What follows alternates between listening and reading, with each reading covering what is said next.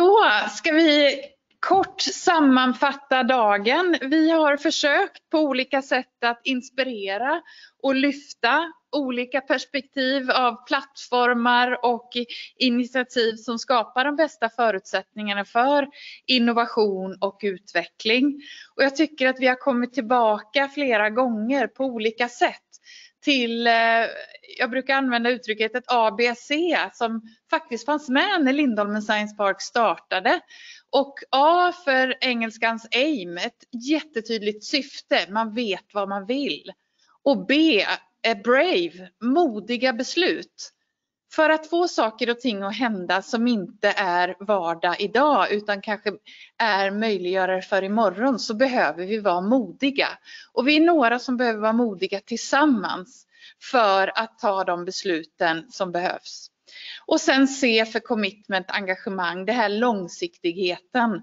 Att våga satsa. Det är ingen snabb avbetalningsplan på det här utan det är långsiktigt för Sverige. Och det är en jätterolig eh, uppgift att ha förtroendet och få vara en del av det. Så vi hoppas att ni har inspirerats av eh, det som vi har lyft upp idag.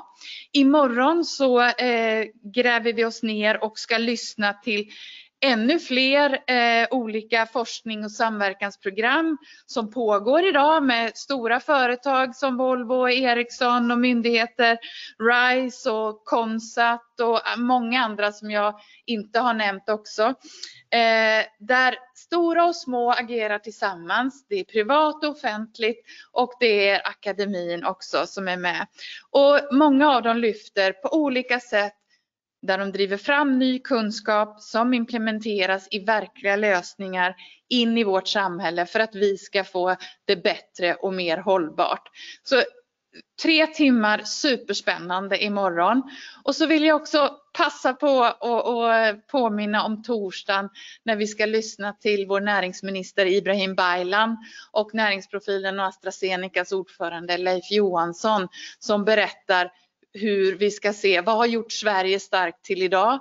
Vad behöver vi göra framåt för att fortsätta utvecklas? Vad behöver vi se mer eller mindre av?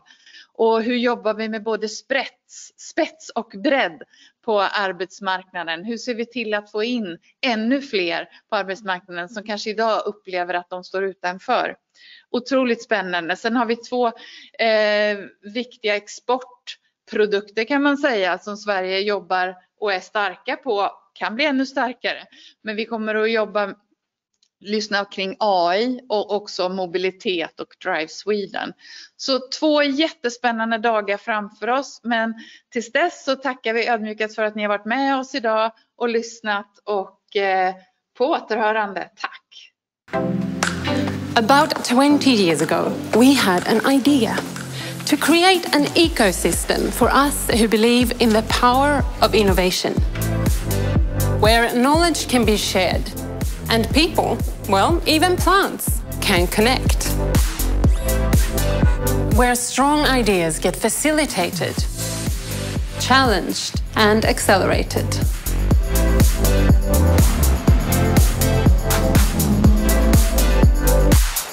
Where innovation can thrive and new sustainable possibilities can reach society. Where the business community, academic world and public sector can collaborate on joint missions.